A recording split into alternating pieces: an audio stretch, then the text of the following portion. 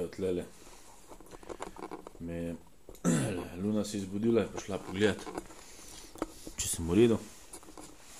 Tam je piki, tam je pa piko. No, kako se to zvesti. Jaz sem z Ljubljane prišel, le. Evo. Je pa ura pet do enih. A gremo spat? Še enega prižgemo. Ajde, banda, pojdite spat. A pa ne, no.